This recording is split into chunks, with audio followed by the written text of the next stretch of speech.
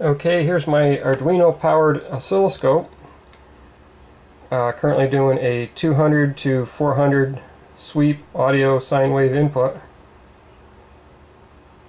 Trigger circuit or software works much better in this program than it does on the logic analyzer. Although I say that and I can see it shifting. Current frequency is 320 hertz and climbing. And as you see, the oscilloscope isn't good for much more than 4 or 500 hertz top end because of the sample rate of the analog to digital converter. Yep, complete. Start over. There's 200 hertz.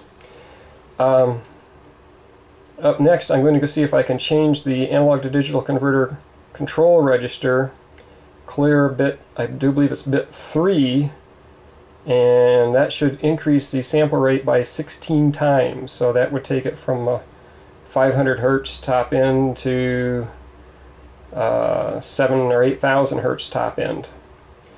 And then I mentioned in a previous video I hope to add an external analog to digital converter to get it up to 2 megasamples per second.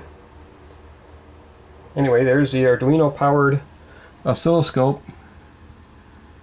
Bottom right hand corner, the time to do a scan is 36 milliseconds.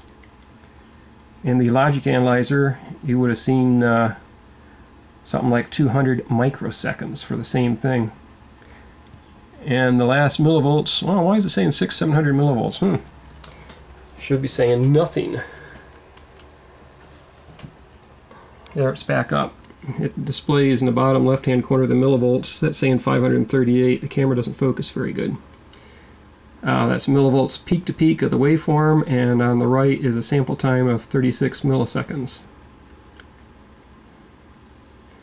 Like I said, the logic analyzer doing the parallel input PINC can do uh, in uh, around, I think it was 130 microseconds versus 36 milliseconds for the analog to digital converter.